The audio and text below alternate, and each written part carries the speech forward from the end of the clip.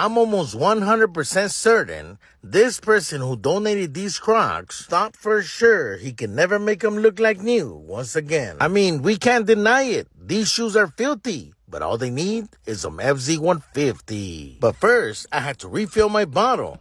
Then, I got my shoe cleaner ready. I pumped the foam, and when I see the foam, I'm in my zone. FZ150 is so good, you can see the difference like night and day. When cleaning Crocs, all you need is the hard bristle brush to do the job. And if you want to show your shoes some loving, you gotta get that FZ150 and get to scrubbing. So remember, when you want your shoes to be fixed, FZ150 does the trick. We rinse and dry the shoe, and now look at the difference. Wow! I just saved myself 150 bucks. Mira nomás, que chulada.